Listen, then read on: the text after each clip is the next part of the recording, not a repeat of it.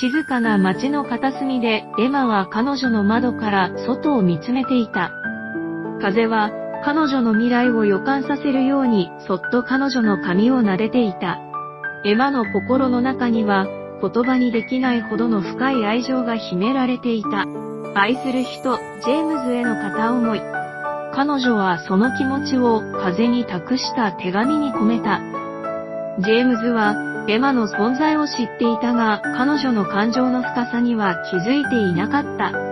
エマは彼とのわずかな交流を大切にし、彼の笑顔を心の中で何度も描いていた。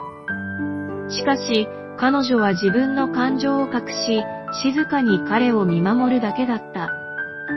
エマは彼女の愛を伝えるために手紙を書いた。彼女はその手紙を風に託し、ジェームズへの気持ちを静かに送り出した。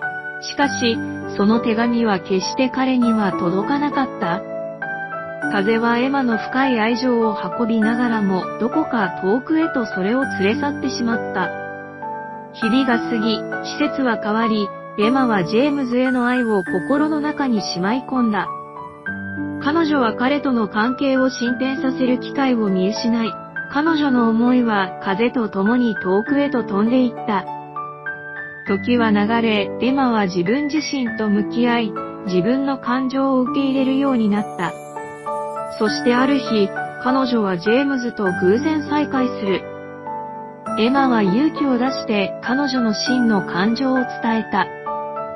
ジェームズは驚いたが、彼女の真摯な愛に心を動かされ、二人は新たな関係を築き始めた。エマとジェームズはお互いを深く理解し合い、互いに対する愛を育てていった。